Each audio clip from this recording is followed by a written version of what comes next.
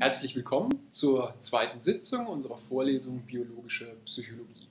Mein Name ist Julian Keil und heute wollen wir uns anschauen, woraus denn eigentlich oder wie denn eigentlich unsere Zellen in unserem Nervensystem aufgebaut sind.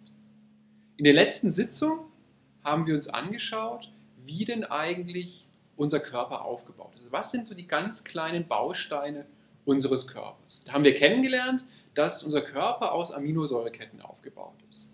Ähm, die Gene, unsere genetische Information, dient dabei als Bauplan für diese Aminosäureketten und diese, dieser Bauplan, der ist kodiert in der DNA im Zellkern. Diese DNA, da, die ähm, liegt in den Chromosomen vor. Die Chromosomen sind also die Träger unserer genetischen Informationen. Wir haben letzte Woche kennengelernt, wie denn diese Chromosomen vorliegen im Zellkern, also wie die Struktur von den Chromosomen ist und was sind eigentlich die Funktionen dieser einzelnen Segmente der äh, DNA der Chromosomen sind, haben uns dann angeschaut, wie wird diese Information kodiert in der Mitose und Meiose, äh, kopiert und geteilt und wie interagieren eigentlich ähm, unsere Umwelt, unsere Erlebnisse und unsere Gene, um unseren äh, Phänotyp und unser Verhalten zu erklären. Zur Funktion der Gene der DNA gab es eine Frage, nämlich zur Zuordnung von Basentriplets zu den Aminosäuren. Dazu ist zu sagen, dass es keine 1 zu 1 Zuordnung gibt, sondern dass häufig mehrere äh, Triplets eine Aminosäure kodieren. Das ist eine sogenannte synonyme Kodierung. Heute wollen wir uns anschauen, woraus eigentlich unser Nervensystem besteht. Wir haben ja ein Gehirn, wir haben ein Nervensystem, das besteht aus einzelnen Zellen ähm, und wir wollen uns immer anschauen, wie sind denn eigentlich diese einzelnen Zellen aufgebaut? Welche ähm, Organellen, welche funktionellen Einheiten finden wir denn in so einer Zelle? Ähm, welche Strukturen finden wir in einer Nervenzelle und was gibt es sonst noch an Nervenzellen, um dann eben im weiteren Verlauf dieser Vorlesung einen Schritt weiter zu gehen und dann größere Neuronenverbände anzuschauen. Das Ziel der heutigen Sitzung ist es, dass Sie die Bausteine von unserem Nervensystem kennenlernen. Dazu gehören die Neurone, also wie ist ein Neuron aufgebaut, aus welchen äh, Organellen, aus welchen Elementen besteht es, ähm, wie ist so ein Neuron strukturiert, also hier das Stichwort Dendrit, Zellkörper und Axon. Äh, und dann zu guter Letzt haben wir noch die Unterstützungszellen, die sogenannten Gliazellen, die hier für die Struktur und Versorgung unseres Nervensystems eine ganz bestimmte, eine ganz wichtige Rolle spielen. Fangen wir mit dem Großen und Ganzen an. Unser Nervensystem. Unser Nervensystem ähm, zieht sich durch unseren gesamten Körper und hat die Aufgabe, Informationen in unserem Körper weiterzutragen. Dazu gehören eben Informationen, die von außen an uns herankommen, also Informationen über unsere Umwelt, aber auch der umgekehrte Weg, also Informationen, die wir generieren, an unsere Umwelt abzugeben. Und hier sehen Sie mal eine Präparation von so einem Nervensystem. Das ist ähm, Anfang des, äh, des 20. Jahrhunderts erstellt worden. Also tatsächlich mal so ein Nervensystem eines Menschen herauspräpariert. Und hier sehen Sie schon diese feine Verästelung, diese feine Verzweigung in alle unsere Körperregionen, aber auch eben ganz wichtig, die Bestandteile unseres, unseres zentralen Nervensystems, eben dem äh, Gehirn und dem Rückenmark und dazu eben das periphere Nervensystem, das den ganzen Rest des Körpers innerviert.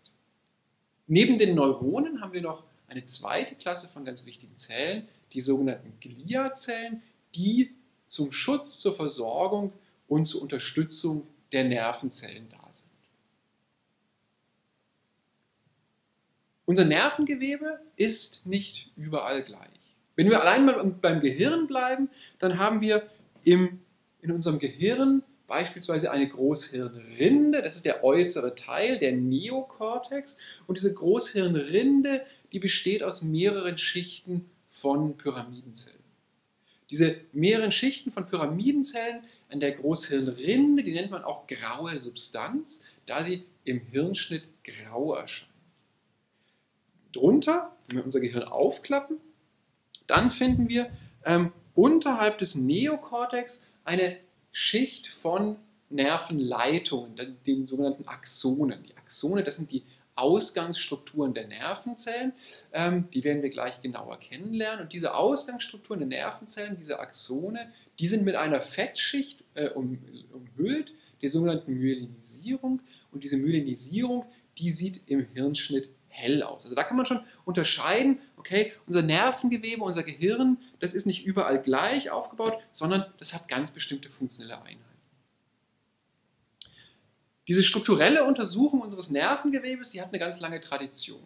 Die wurde begründet Anfang des 20. Jahrhunderts, Ende des 19. Jahrhunderts von Wissenschaftlern, die sich genau damit beschäftigt haben, welche einzelnen Elemente wir eigentlich unserem Gehirn, unserem Nervensystem unterscheiden können. Kam also die Idee auf, okay, unser Gehirn ist keine einheitliche Struktur, sondern besteht aus kleinen funktionellen Einheiten.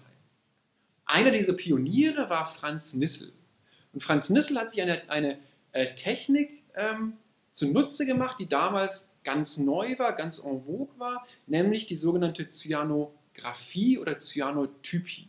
Das ist ein, Fotograf ein, ein Verfahren der Fotografie, bei dem ähm, eine eisenhaltige Lösung auf einen Bildträger aufgebracht wird und dann belichtet wird und man kann dann aus der Veränderung dieser eisenhaltigen Lösung eine, eine, einen Rückschluss über die dort zugrunde liegende Struktur äh, ziehen. Diese ähm, Färbung, die Nissel hier erfunden hat, die ist, ähm, die ist eben sensitiv für Zellkörper. Also diese eisenhaltige Flüssigkeit schlägt sich an den Zellkörper nieder.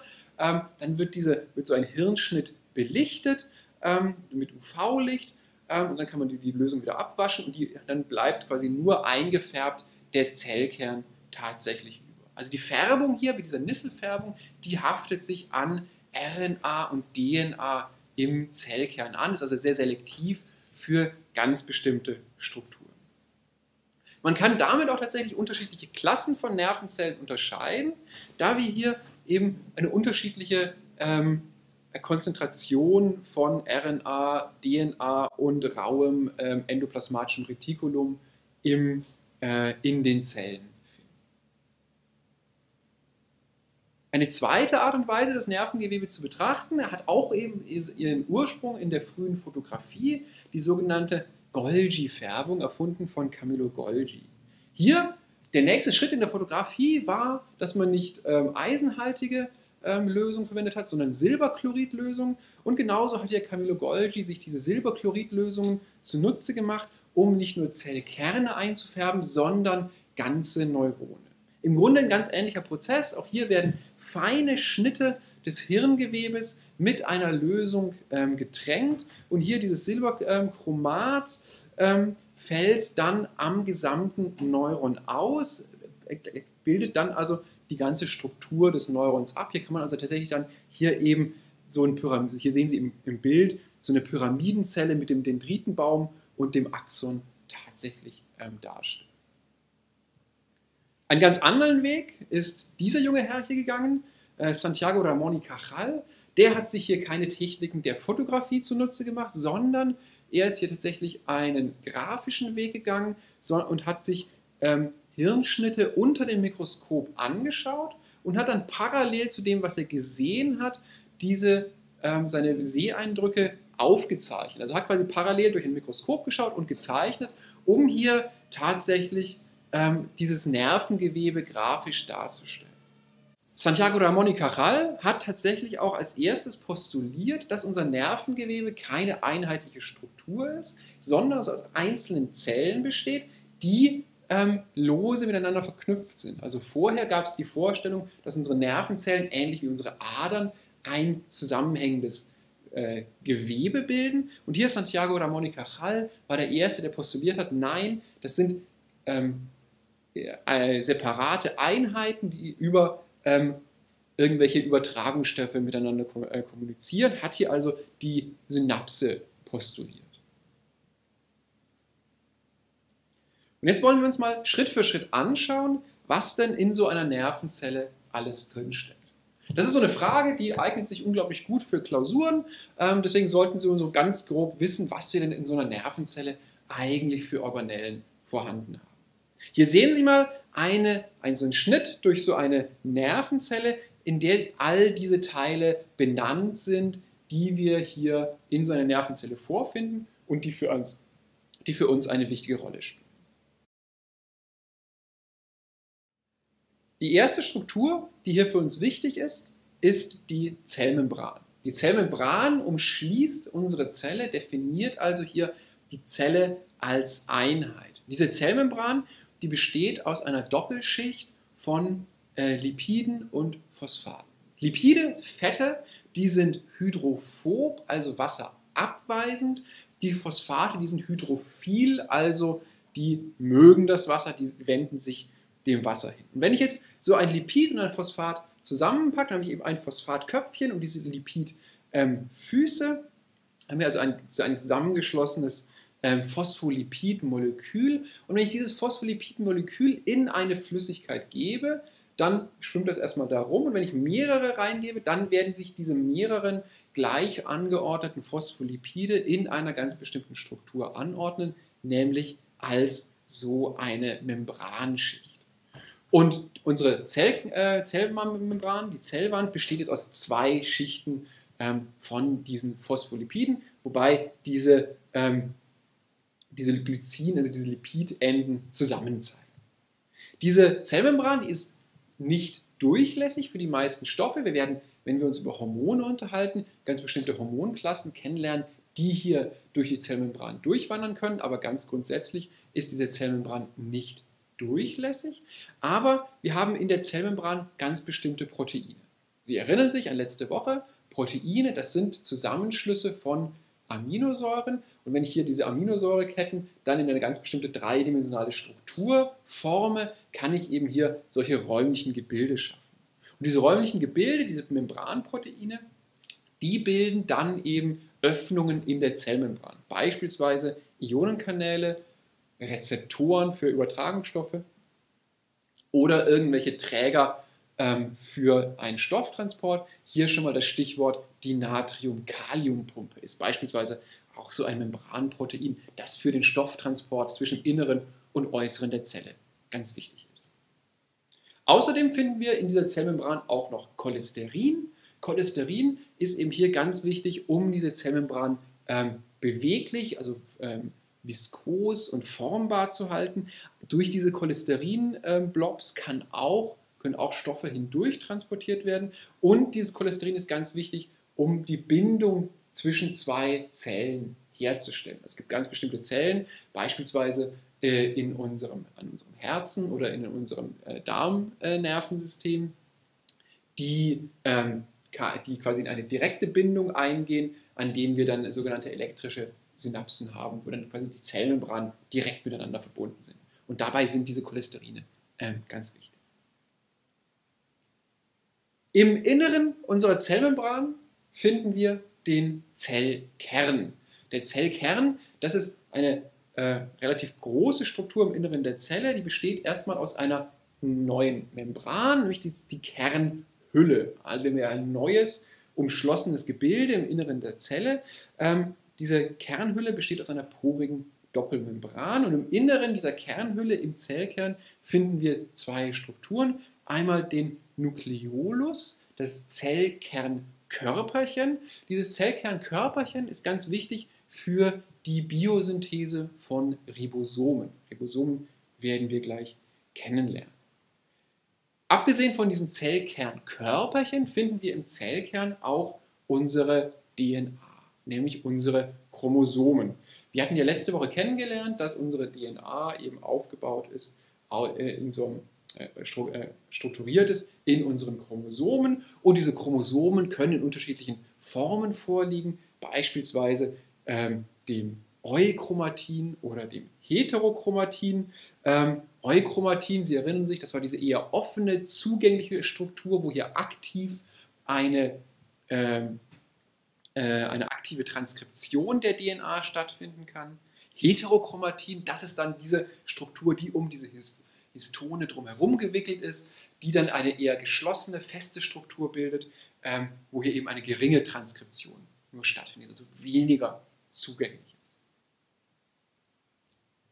Dieses Bild hier, das haben wir letzte Woche schon gesehen. Hier geht es also um die Übersetzung von DNA in die Aminosäuren. Hier also nochmal kurz eine Wiederholung. Wir haben in unserem Zellkern eben unsere DNA in den Chromosomen vorliegen. Diese DNA, die kann ich dann auftrennen ähm, und dann entlang der aufgetrennten DNA kann die RNA synthetisiert werden und diese RNA, die dann die sogenannte Messenger-RNA, kann dann die Information aus dem Zellkern raus in, die, ähm, äh, in das Zellinnere transportieren.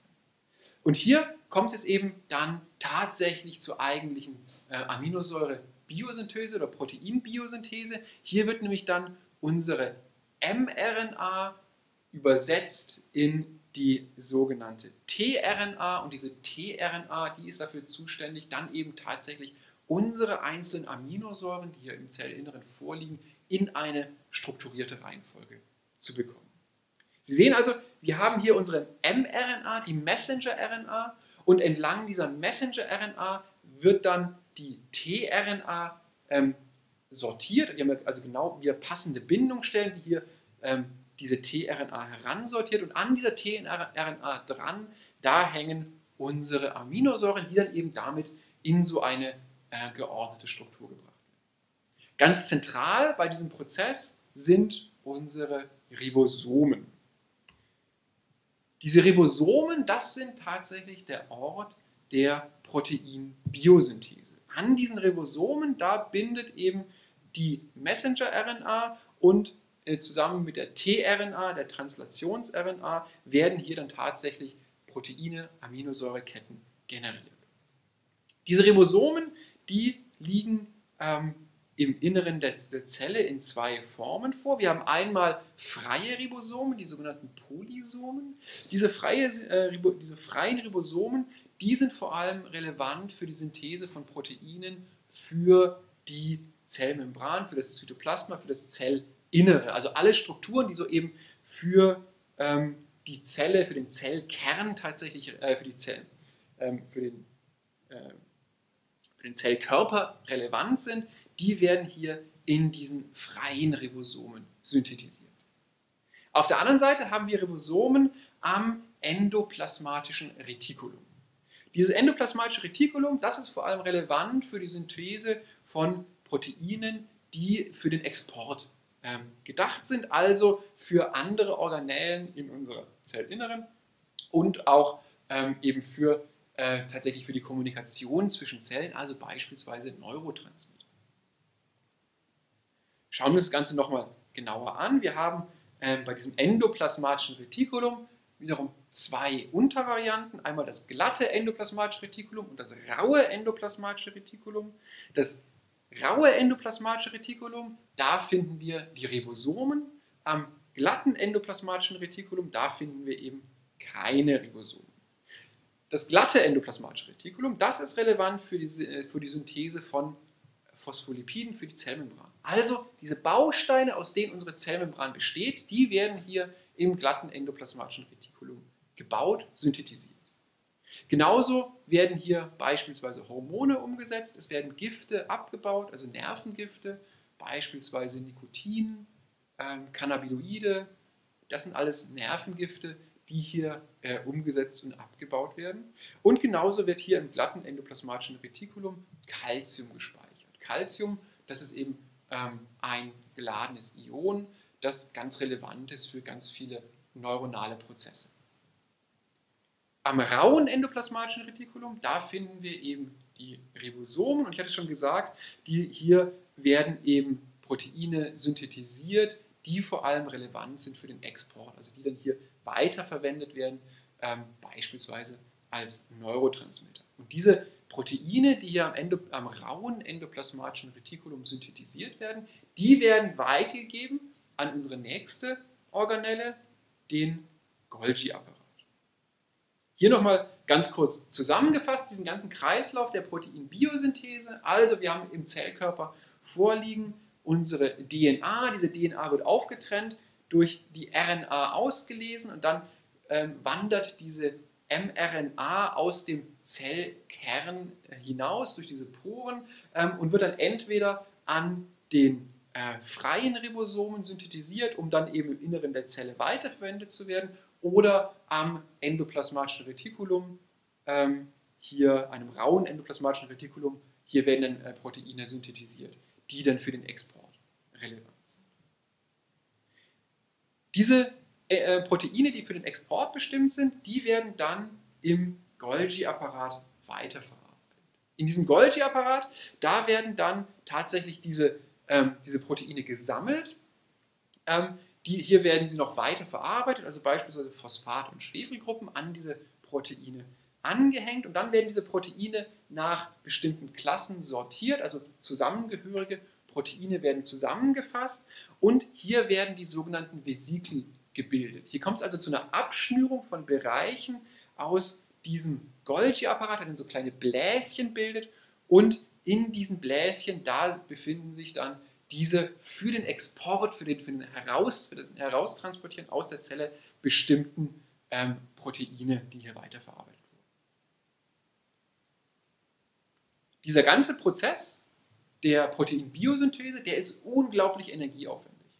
Dafür brauchen wir Energie in einer Zelle und diese Energie wird generiert in den Mitochondrien.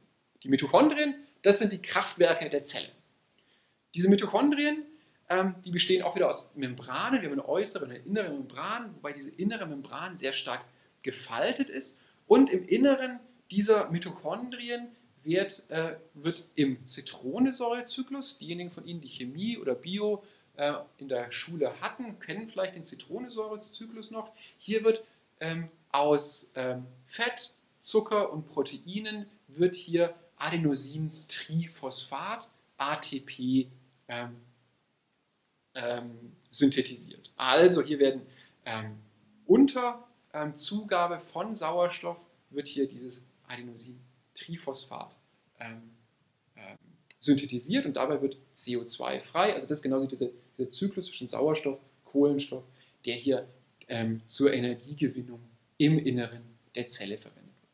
Und dieses ATP, das werden wir noch ganz, ganz häufig kennenlernen, nämlich dieses ATP, das wird tatsächlich verwendet als Energiestoff, Energieträger im Inneren der Zelle und dieses ATP wird dann eben beispielsweise am, an der Natrium-Kalium-Pumpe ähm, wieder gespalten, da wird Energie frei und damit werden solche ähm, Veränderungen ähm, an die solchen Proteinen ermöglicht. Bei diesen Prozessen der Biosynthese, Proteinsynthese im Inneren der Zelle, da, da fallen ganz viele Abbauprodukte und Abfallprodukte. Genauso werden hier Gifte umgesetzt, das hatte ich schon erwähnt.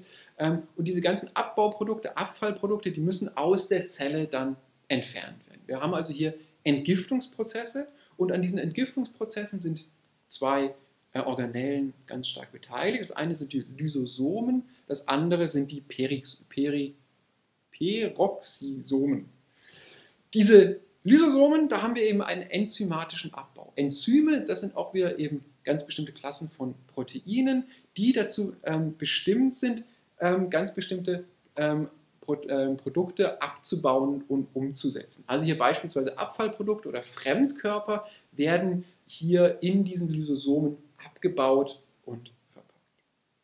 Diese Peroxisomen, die sind relevant für den Abbau von Stoffwechselprozessen. Also hier die sogenannten Radikale, die werden hier in den Peroxisomen ähm, abgebaut. Und genauso werden hier Giftstoffe wie beispielsweise Alkohol ähm, abgebaut. Und das sind eben auch so also Organellen, so kleine Bläschen, ähnlich den Vesikeln, die dann eben hier diese Abfallprodukte speichern ähm, und dann auch aus, dem, aus der Zelle heraustransportieren.